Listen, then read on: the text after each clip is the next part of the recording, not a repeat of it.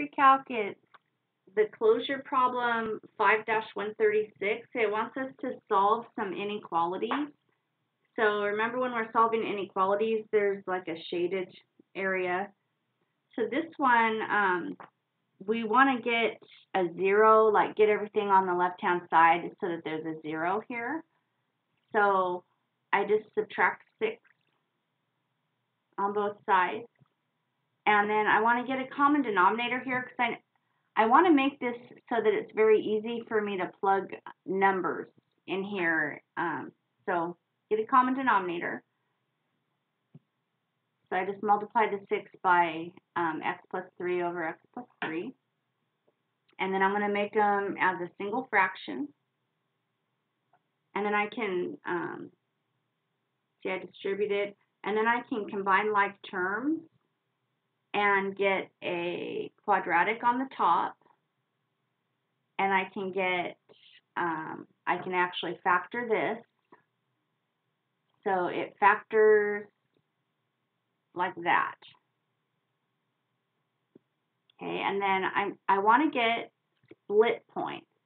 Split points are places where the graph changes from positive to negative. So split points are basically going to be the x-intercepts and if there's any vertical asymptotes.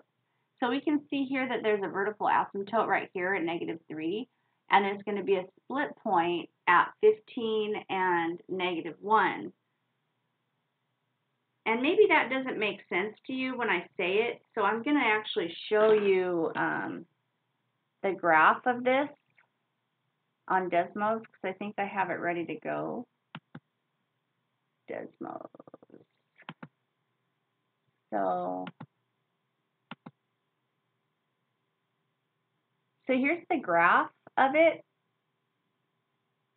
So I can see that my split points are like negative 1 like we said and 15. Well, 15. And then there's this there's a vertical asymptote at negative 3.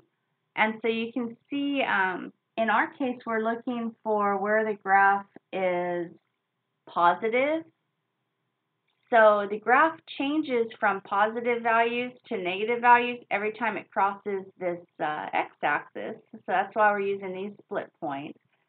And um, sometimes it'll change at the um, vertical asymptote. So that's why we do that, why we get the split points. And I already showed you how to get the split points. So what I do is I take my split points and I just put them on a number line. And I'm just, it's like I don't really know what the graph looks like, so I'm just fishing around trying to see which regions are the regions where um, where I have a solution. So in other words, I'm going to plug in for x, I'm going to plug in something in the region that's to the left of negative 3. So let's just plug in negative 4.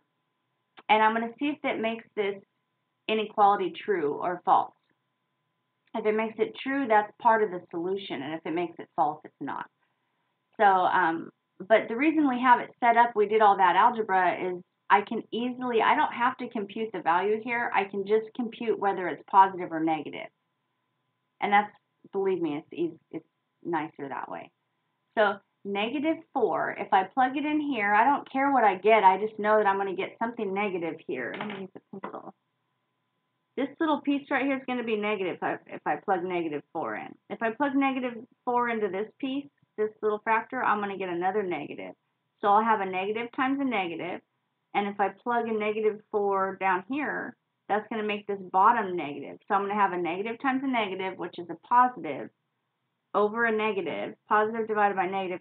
I'm going to get a negative value in this region over here.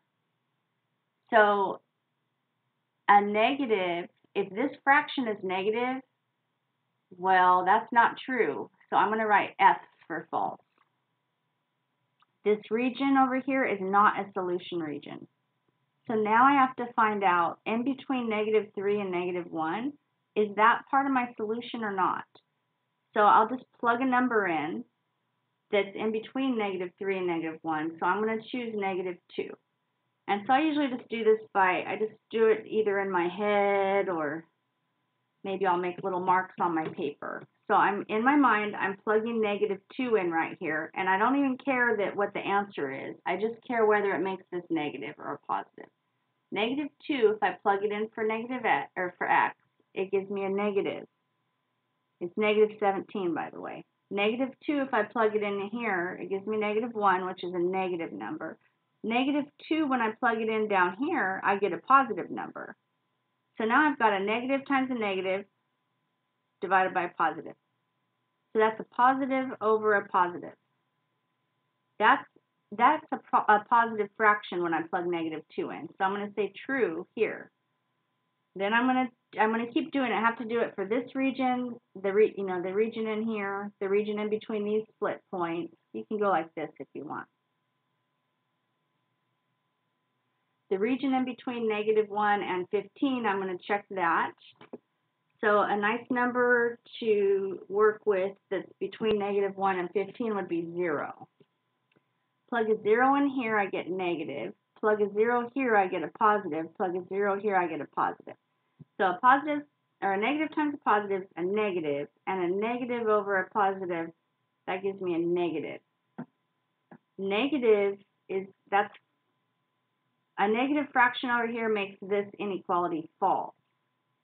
Because it's this is supposed to be greater than 0. So I'm going to write false.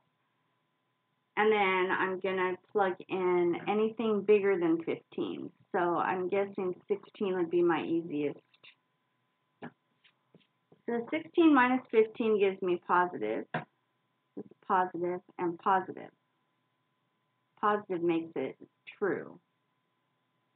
So now I know my solution region is, I don't have the little underline thing. So my solution is going to be in between these two split points, negative 3 and negative 1. And it's also going to be uh, 15 infinity. So I'm going to say that my answer, well, let's check that and make sure. Yeah, my answer is right here. What's right here. So I'll write it more nicely.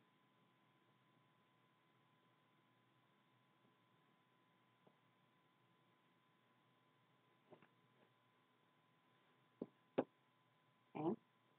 I'm going to do let the next one. Okay, so the next one is letter B.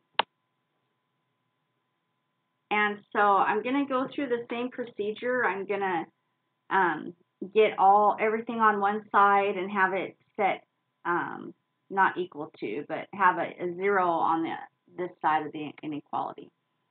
So I moved everything over, and then I, I'm going to factor it, because when I factor it, it makes it nice for plugging numbers in. So I just factored it.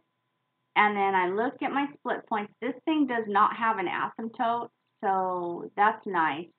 This thing is just some kind of a, a quartic. It probably goes like uh,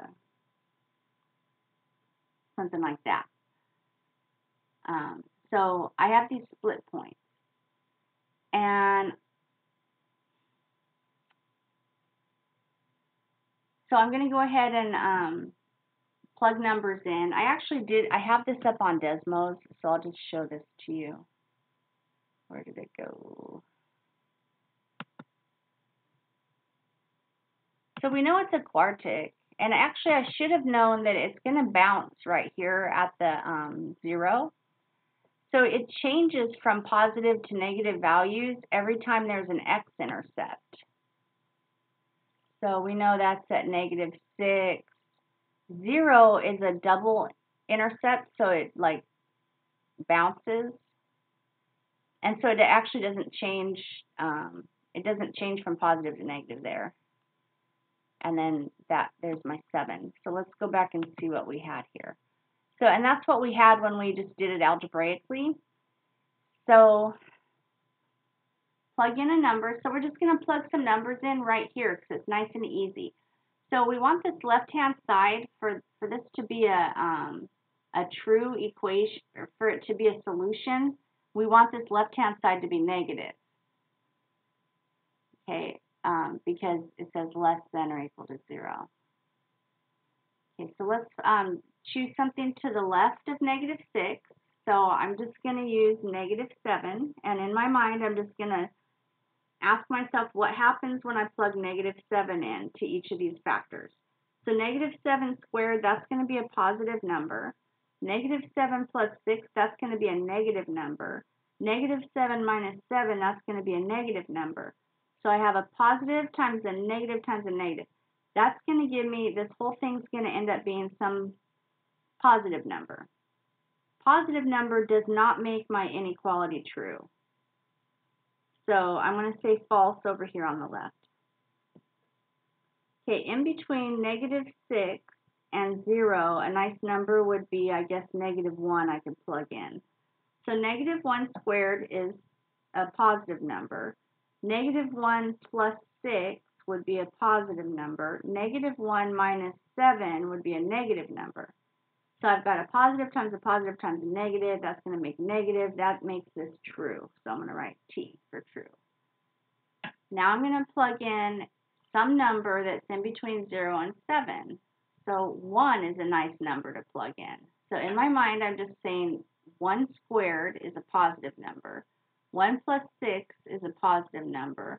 1 minus 7 is a negative number. So I've got a positive times a positive times a negative. So that's going to make this negative. So it's actually, we're going to have this region is also true. And we know that from the graph because we looked at the graph and I think the graph, well, we'll look at, the graph went like, I think this or something.